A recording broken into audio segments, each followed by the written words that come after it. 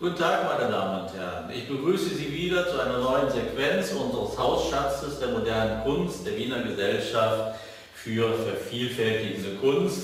Wieder ein Auszug heute von verschiedenen Künstlern mit den unterschiedlichsten Darstellungen. Kommen wir gleich zum ersten.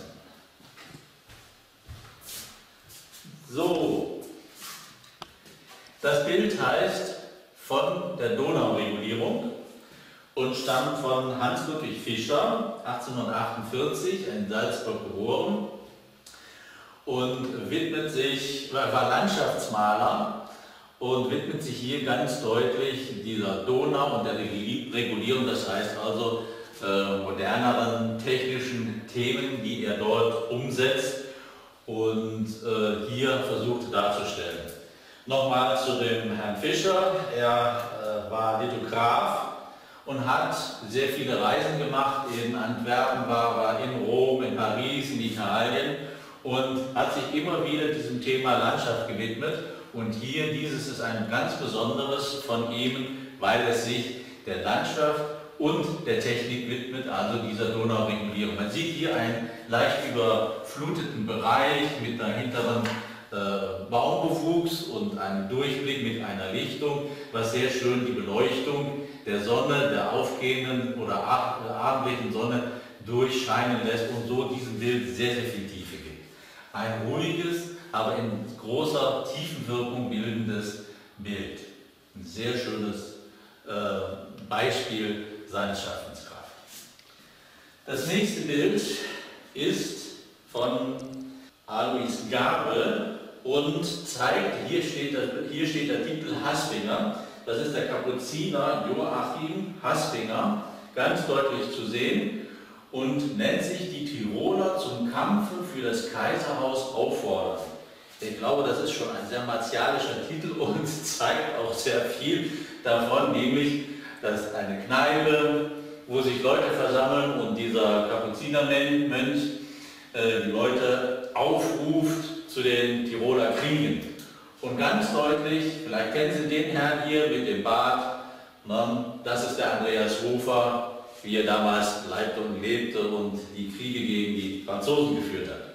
Nochmal zu dem Maler von dem Aris Gabel möchte ich noch kurz sagen, er ist 1883 geboren, hat äh, Defregger, den bekannten Maler als Vorbild, der zehn Jahre vor ihm quasi dieses Genre der äh, lokalen äh, Stimmungen aufgenommen hatte, zum Vorbild genommen und ihm gefolgt ist und äh, das zeichnet ihn auch aus. Er hat äh, dann mit diesen Art von Bildern leider in späteren Jahren nicht sehr viel Glück gehabt, sodass er im Jahre 1893 war das glaube ich, ja, Selbstmord begangen hatte, weil er einfach von diesen Bildern nicht mehr leben konnte. Und es ist verbrieft, dass seine Hinterlassenschaft ganze 20 Pfennig waren. Also ein sehr verarmter Künstler, der zunächst großen Erfolg hatte mit diesen Bildern und dann doch sehr arm gestorben ist. Das zu diesem Bild. Das nächste nennt sich Auf der Studienreise und ist von Konrad Grob und Konrad Grob ist 1872 in der Schweiz geboren, ein Schweizer Genre-Maler, ähm, der 20 Jahre zunächst erstmal in seiner Heimat nur als Lithograf gearbeitet hat. Was heißt nur? Er hat dieses Handwerk gelernt und hat 20 Jahre in diesem Genre gearbeitet und ist dann Landschaftsmaler und Genremaler geworden. Also äh, dieses Bild zeigt ganz deutlich, sieht ihn selber im Prinzip, wie er dann auf seinen Reisen Maler wurde und hat hier äh, Studienreisen, hat hier äh, eine Szene aufgenommen, die er mit Sicherheit, das unterstelle ich ihm jetzt einfach selbst erlebt hat. Das heißt also, hier ist auf dem Balkon in einer heimischen Szene, malt er und porträtiert er die, die Tochter oder die Inhaberin eines Hofes in ihrer Tracht und stellt somit auch diese häuslichen Szenen dar, während hier die Omi dann noch schön strickt ne? und die interessanten äh, äh, Nachbarn und Geschwister und Familienmitglieder, die über die Schulter zugucken. Also eine klassische Szene aus dem Leben gegriffen, äh, wofür er auch steht. Das Bild daneben ist ebenfalls von Konrad Grob, stammt aus dem Jahre 1870, ist auch eine Originalregierung und zeigt genau wie das Bild eben auch wieder eine häusliche Szene am Kaminofen, wie der Opa mit seinen beiden Enkeln eine Meisenfalle baut, und so nennt sich auch das Bild, die Meisenfalle. Das heißt also, ich würde es mal heimische Bastelstunde nennen heutzutage, aber zeigt auch wieder eine ruhige, heimatlich verbundene Szene, die sehr viel Ruhe ausstrahlt, aber auch authentisch wird. Absolut authentisch. Dafür steht unser Konrad Grob. Das waren die ersten vier Bilder. Jetzt kommen wir gleich zu den nächsten. Wir machen jetzt einen kurzen Schnitt. Teil 2 unserer Galerie sehen Sie hier. Das nennt sich Kloster Schäfflerei. Ist ein Bild von Eduard Grützner, 1846, gebürtiger Pole, heute in Polen, damals in Preußen geboren. Und seine äh, Bilder zeichnen sich als humoristische Genrebilder aus. Das heißt also, hier sehen Sie eine äh, Szene, eine Kneipenszene, klassischerweise, da wird Bier, Bier überreicht und er interpretiert es mit sehr viel Humor. Sie sehen auch, dass die Leute sich freuen, man kann sich sogar an den Bildern mitfreuen und ist äh, auch bekannt äh, für, für Interpretationen aus Shakespeare, also hat durchaus auch anspruchsvolle Themen genommen und diese in Lithografien und Malerei umgesetzt. Und das führte natürlich in letzter Konsequenz dazu, dass er dafür seine Bekanntheit erhielt und Professor in der Münchner Akademie wurde. Also mit seinen humoristischen Bildern hat er sehr viel auf dem Markt bewegen können. Sehr angenehmes Thema, wirklich. Dieses nächste Bild nennt sich italienische Gartenszene. Ganz klar, hier sieht es wieder ganz anders aus. Das ist ein Bild von Ludwig von Hagen, 1820 in München geboren.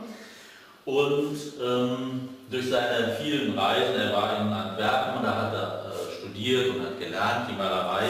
Und Rom und Paris, natürlich Italien, wie zu der damaligen Zeit, hat viele Leute inspiriert und so zieht er seine Impressionen daraus.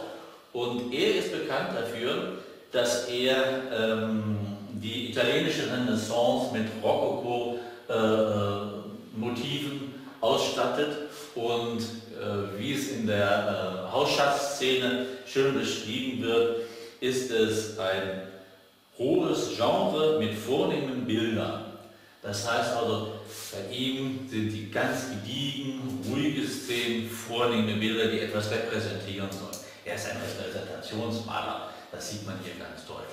Ganz ausgewogen, hier die Szenerie in der Mitte mit äh, dem Grünen in der Lichtung und die tiefe wirkende äh, Bauwerke, also ganz ausgetüftelte, fein säuberlich aufgestellte Bilder, teilweise konstruiert, aber sehr gut in Szene gesetzt historische Bilder. Das nächste Bild hier ist äh, sehr actiongeladen, nennt sich Freiwillige Jäger und Sie sehen, dass es sich hier um eine kriegerische Darstellung handelt.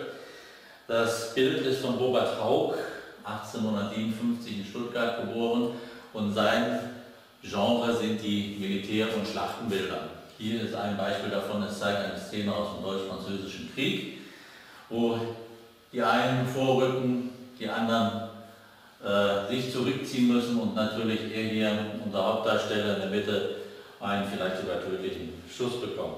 Nichtsdestotrotz, es war eine Sparte, die es auch gab und auch dargestellt wurde. Und das ist neben seinen Landschaftsbildern, die er auch gemacht hatte, seine Spezialität, diese Schlachten und Militärbilder und sogar wurde er auch in diesem Bereich mit einer Goldmedaille ausgezeichnet von der Nationalgalerie in Berlin, glaube ich. Also er ist sehr bekannt dafür, wer diese Motive äh, der historischen Schlachten, die es ja nun mal gab, darstellte, ähm, war auch viel in der Öffentlichkeit darzustellen, dass ein Krieg nun mal nicht immer ein Zucklerdecken war. Ne? Auch dazu hat er aufklärerisch beigetragen. Unser letztes Bild hier nennt sich die wilde Jagd. Auch sehr, sehr actiongeladen. Da geht es ja richtig durcheinander mit Pferden, wieder Wildreiten und Läufern. Es ist ein Bild von Rudolf Henneberg, 1826 in Braunschweig geboren. Und er war zunächst Jurist und angehender Richter und dann hat sie ihn dazu gedrungen, ich will Maler werden und ging nach Antwerpen, hat gelernt, ne? ist auch in Paris unterwegs gewesen, sehr viel äh, auf Reisen gewesen danach und ist jetzt äh, durch seine Malerei äh, bekannt geworden, ich zitiere jetzt nochmal, dass er die dichterische Stimmung in die Sprache der Malerei übersetzen konnte. Das war sein Schaffenskraft, seine Auszeichnung hierfür und das sieht man auch in diesem Bild, wie er eine Jagd darstellt, komprimiert mit allen möglichen Szenen, der flüchtende Hirsch, wie die ganze Meute von Pferden, Hunden, Leuten und Reitern hinter ihm her ist, das umzusetzen, das hat ihn ausgezeichnet. Und das haben auch andere erkannt, auch er hat die goldene Medaille gekriegt, das war glaube ich bei der Münchner Akademie, von dort ist er auch ausgezeichnet worden mit dieser Art der Malerei, hier natürlich eine äh, Originalvalierung, das ist von 1856, ähm, die dieses nochmal darstellt in ganzer Kraft. So, jetzt haben Sie einmal unsere neuesten Bilder hier gesehen. Schauen Sie sich die nochmal im Einzelnen an und vertiefen Sie sich nochmal in viele kleine Details, die immer sehr bewundernswert sind. Ich kann sie nur empfehlen. Ich danke Ihnen fürs Zuschauen.